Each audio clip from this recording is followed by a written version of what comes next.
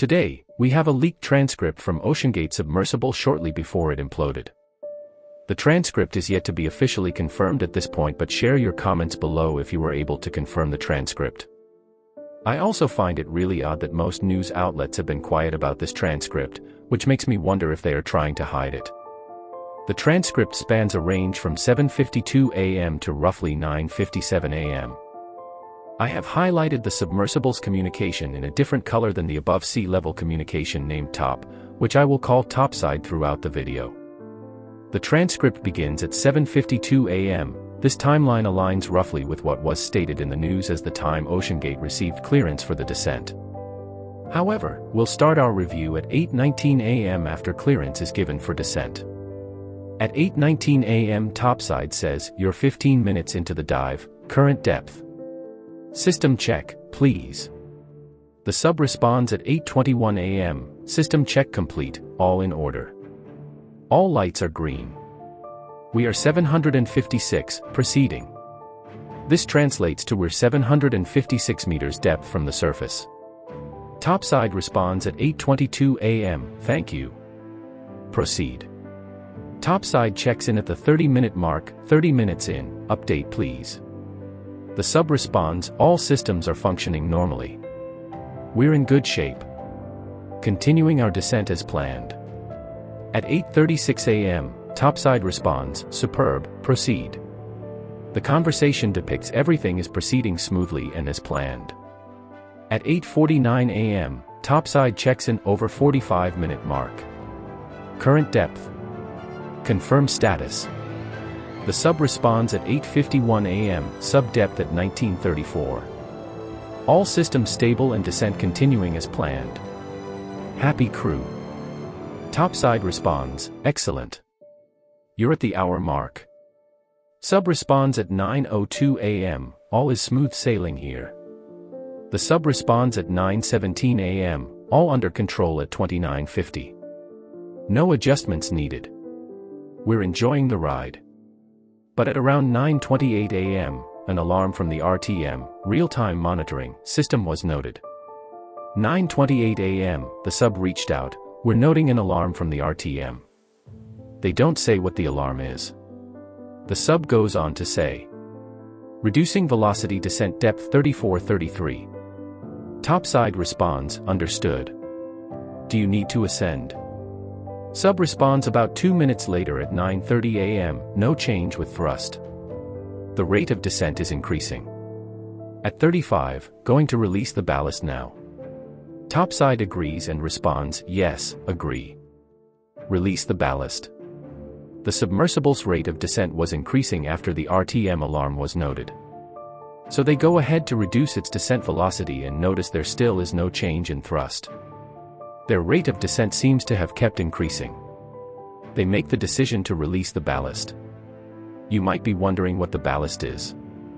In submersibles and submarines, ballast tanks are used to control the buoyancy of the vessel. Some submersibles, such as bathyscaphs, dive and resurface solely by controlling their buoyancy. They flood ballast tanks to submerge, then to resurface either drop discardable ballast weights, or use stored compressed air to blow their ballast tanks clear of water, becoming buoyant again. In most submersibles it is located here. Those two compartments you see there.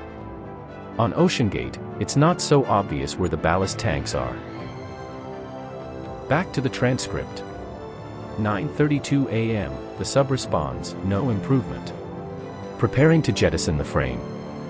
Unfortunately, after releasing the ballast there is no improvement. So they prepare to jettison the frame and start the ascent. Which signifies they are attempting to drop every weight that's not critical to the ascent of the submersible. What puzzles me here is the fact that the topside was not giving much suggestions. You would expect in this dire situation, there should be more information from the topside. The submersible suggested the release of the ballast, and the jettisoning of the frame, Let's go back to the transcript. At exactly 9.33 am, the topside responds affirmative. Update when able. RTM indicator status. The sub responds at 9.35 am, frame jettison multiple attempts needed. But starting the ascent now. They highlight that multiple attempts was needed to jettison the frame and also don't answer the RTM question posed by the topside. Topside responds, multiple attempts. What is your status? RTM indicators. Depth. Update please when able. Responses back from the submersible has become a little more scattered. It is not at the same rate as before which indicates something was already wrong. At 9.38 am, the submersible responds, crackling sound at aft. This is about 3 minutes after jettisoning the frame. A crackling sound is heard at aft. In nautical terminology, the aft is an adjective or adverb meaning towards the rear of the ship. They were hearing cracking in the rear.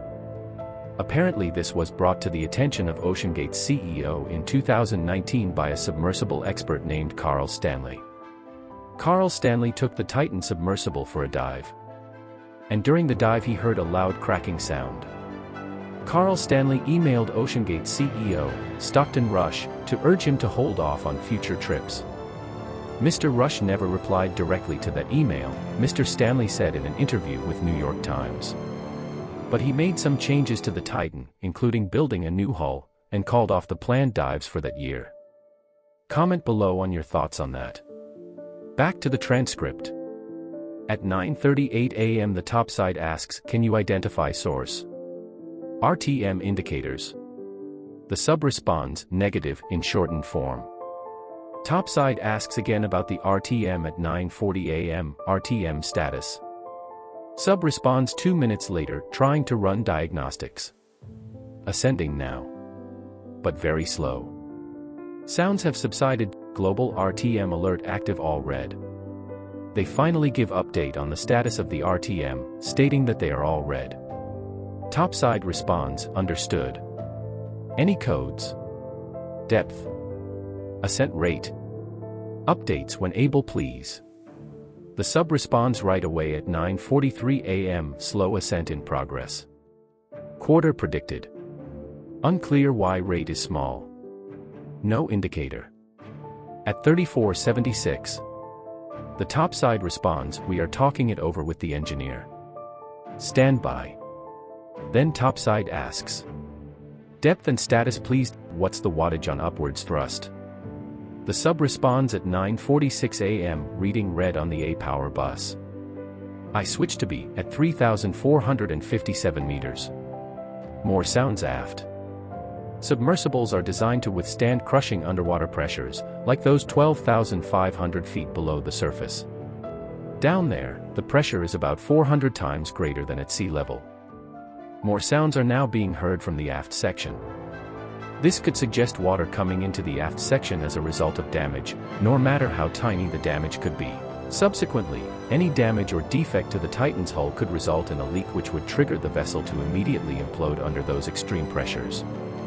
The topside responds at 9.47 am, understood, continued ascent. Talking to Carlos about power bus situation right now. A minute later at 9.48 am, the topside asks, we are activating recovery procedures. Carlos is requesting wattage output from bus B, status update please. Velocity of ascent. There is no response from the sub. At 9.50 am, the topside responds, we're not receiving you. Update please, at 9.51 and 16 seconds AM topside says, status and depth report. Topside echoes again at 9.53 AM we need you to respond with status and depth. Carlos is requesting a wattage update on thrusters, at 9.55 AM, we are unable to read you.